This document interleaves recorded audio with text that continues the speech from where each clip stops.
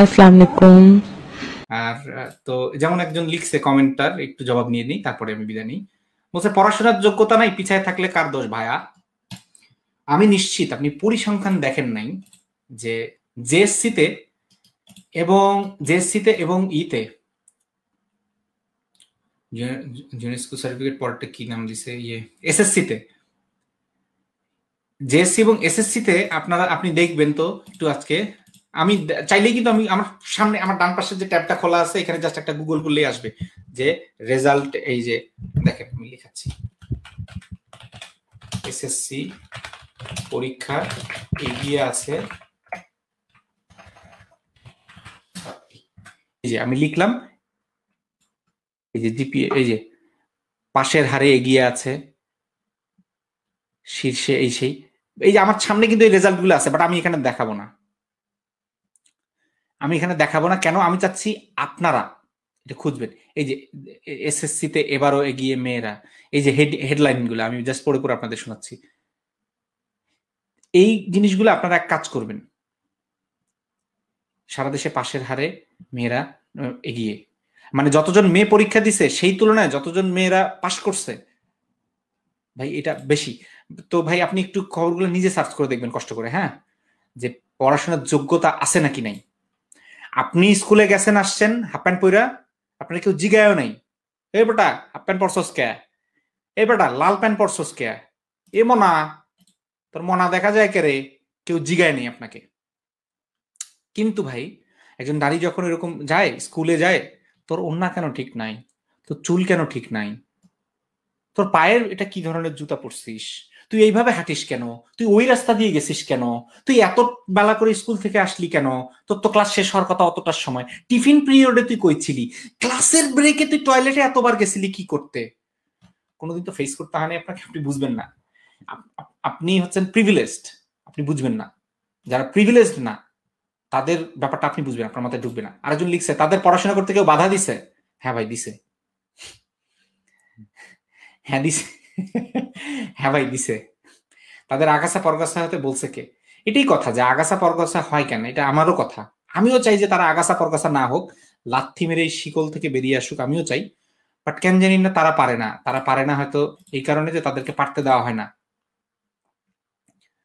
সন্তানের কাছে অনুমতি নেওয়া লাগে ভাই, সন্তানের কাছে। সবচেয়ে নোংরা লাগছে এটা বাপের কাছে, স্বামীর কাছে অনুমতি নেওয়া লাগুক। বুঝলাম পার্টনারের সাথে তো ভাই আমরাও তো কনসাল্ট করব, তাই না? এরকম যদি হয়, আজকে আপনি থাকেন, ধরেন আপনি থাকেন হচ্ছে বরিশালে, আপনার চাকরি হচ্ছে সিলেটে, আপনি তো অবভিয়াসলি কনসাল্ট করার কথা।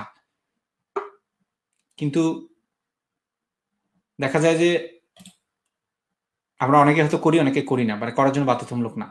কিন্তু মেয়েরা যদি হয় ভাই, তা সে কনসাল্ট করবে কি? ভাইবার মধ্যেই তারা জিজ্ঞেস করবে, আপনার স্বামীর মত আছে তো? আপনি আপনার বাড়ি দেখতে পাচ্ছি, বরিশাল, আপনি থাকেন বরিশালে, আপনি আমাদের, আপনার পোস্টিং তো সিলেটে। আপনার স্বামী কি বলছে? এটা ভাই আমার কথা না। আপনার পরিবারে কেউ যদি, কোনো নারী যদি চাকরির হচ্ছে ইন্টারভিউ দিয়ে থাকে, তাকে জিজ্ঞেস করুন, সে আপনাকে বলে দিবে, সত্য না মিথ্যা। তো বাধা দিছে। পড়াশোনা করতে বাধা দিছে, বিয়ে দিয়ে দেয়, বাধা দেয়, চাকরি করতে বাধা দিছে। আগাছা পরগাছা ইচ্ছে করে বানানো হয়েছে তাদেরকে। জোর করে বানানো। তুই হবি না আগাছা পরগাছা, কইরেই ছাড়মু। এবং ছোটবেলা থেকেই তাদের মাথায় এটা ঢুকায় দেয় গ্লোরিফাই করে এই জিনিসটাকে। শোন, সতী মেয়েরা চাকরি করে না। চাকরি করে ওইসব স্বামীহীন, ওইসব স্বামীর সংসার করতে না পারা লোকজন।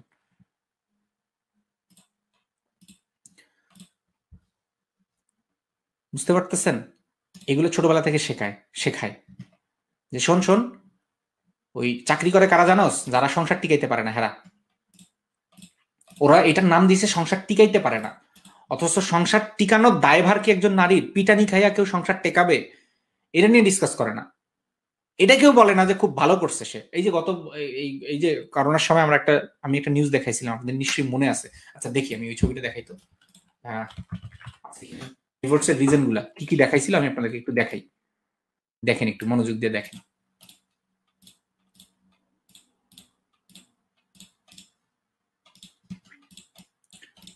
বিদায় নিতে চাইলাম, আবার ডায়লগ মারা শুরু করে দিলাম। ঢাকা জুন অক্টোবরে তালাক পাঁচ হাজার নশো সত্তরটি, উত্তর সিটিতে সাতাশশো ছয়টি, দক্ষিণ সিটিতে ছত্রিশ বত্রিশশো চৌষট্টিটি। চট্টগ্রামের হিসেবে আছে এরকম। প্রতি মাসে গড়ে এগারোশো চুরানব্বইটি। দু হাজার উনিশ সালে প্রতি মাসে গড়ে তালাক হয় নয়শো বিশটি। প্রায় সত্তর শতাংশই স্ত্রীর পক্ষ থেকে।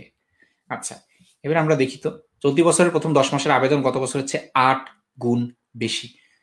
সূত্র সংশ্লিষ্ট সিটি কর্পোরেশন কার্যালয় থেকে নেওয়া হয়েছে। মানে যেগুলো হচ্ছে সিটি কর্পোরেশন কার্যালয়ে এইসব ডকুমেন্টেড আছে তাদেরগুলো এখানে শুধু তুলে ধরা হয়েছে। দেখেন, নারীরা যেসব কারণ উল্লেখ করেছেন, কারণগুলো দেখেন তো ভাই কি কি? একটাবার দেখেন তো ভাই। আমি দেখলাম এবং আমি লজ্জিত হইলাম। লজ্জিত হইতে চাই না, আমার লজ্জিত হওয়ার কিছু নাই। তারপর আমার লজ্জা লাগতেছে। কি লেখা দেখেন? যৌতুকের দাবিতে নির্যাতন।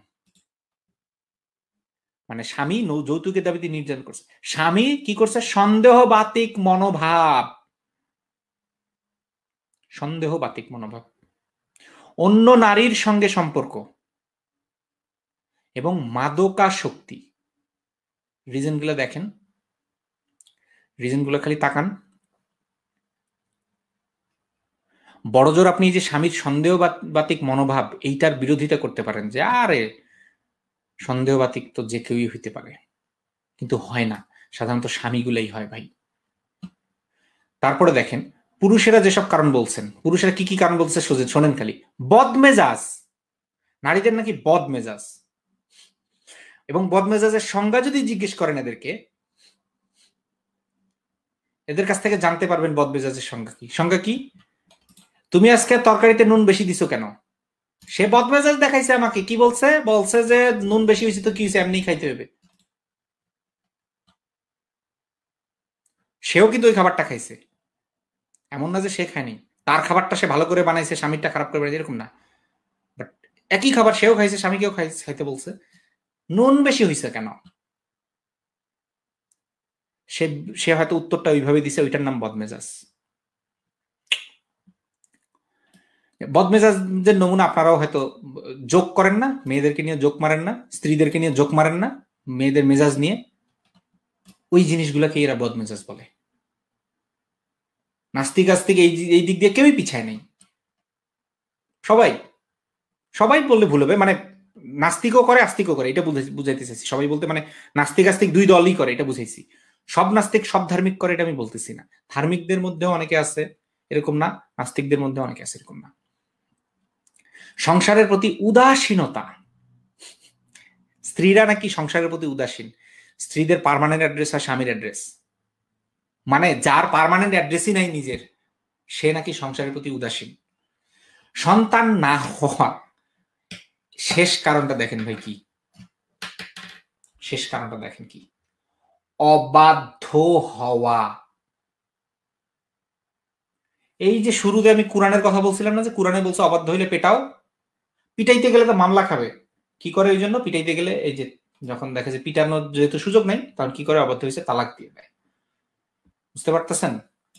এগুলো হচ্ছে রিজন অবাধ্য হওয়া হচ্ছে রিজন অন্য সবগুলা, উপরে নিচের সবগুলো যদি বাদ দেই, এই রিজনটাই মানে আমার সবচেয়ে বেশি পয়েন্ট অফ ইন্টারেস্ট অবাধ্য হওয়া মানে স্ত্রী স্বামীর অবাধ্য।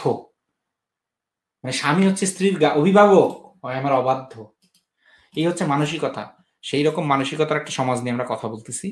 এই কারণে ভাই আমি আপনারা, আপনাদের কাছে যেমনই মনে হোক, যদি কারও কাছে এরকম মনে হয় যে, মাতু ভাই তো পুরুষদেরকে বেশি কম সুযোগ দেয়, মেয়েদেরকে বেশি সুযোগ দেয় I don't care at all একটু না। একটু কেয়ার করি না। আমি এটাই করব। আগের দিনগুলোতেও মানে যেটা করেছি, সামনের দিনগুলোতেও সেটা করব। আমি বারবার অনুরোধ জানাচ্ছি, আপনাদের মধ্যে যারা নারী আছেন, আপনাদের মধ্যে যারা বৈচিত্র্যময় লিঙ্গের অধিকারী আছেন, আপনাদের মধ্যে যারা বৈচিত্র্যময় মানুষ আছেন যে কোনো দিক দিয়ে বৈচিত্র্যময় যারা আপনারা। যাদেরকে সমাজ রিকগনাইজ করে না, করতে চায় না, সমাজ আপনাদেরকে নিপীড়ন করে, এই ধরনের মানুষগুলো যুক্ত হওয়ার চেষ্টা করবেন। আমি অন্যদেরকে সরিয়ে, দরকার হলে তাদের সাথে কথা বলার চেষ্টা করব।